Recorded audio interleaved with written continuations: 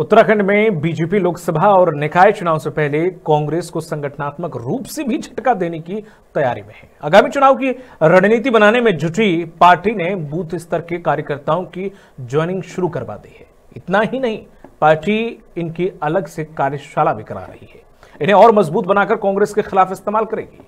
इसी क्रम में बीजेपी के प्रदेश अध्यक्ष महेंद्र भट्ट की मौजूदगी में कई कांग्रेस कार्यकर्ता और नेताओं ने बीजेपी का दामन थामा। इस दौरान प्रदेश अध्यक्ष महेंद्र भट्ट का कहना है कि जिन कार्यकर्ताओं को और मज़बूत करके चुनाव में एक तरफा विजयश्री हासिल करने का प्लान पार्टी ने बनाया है।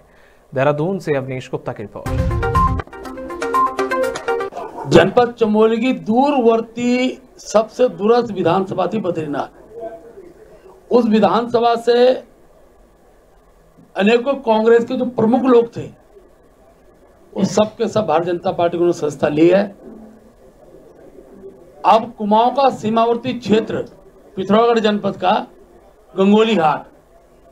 और मैं कह सकता हूँ, गंगोली हाट से भी लगभग लगभग कांग्रेस के सभी कार्यकर्ताओं ने भारतीय जनता पार्टी संस्था लेने का काम किया